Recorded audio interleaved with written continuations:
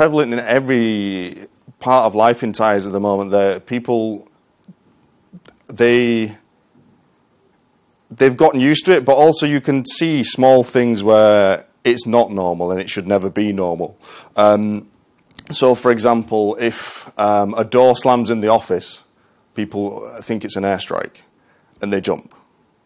Or um, when somebody's giving you feedback and an evaluation of what was most difficult in the last period, um, they write down that they didn't know if they would be able to survive to come to work.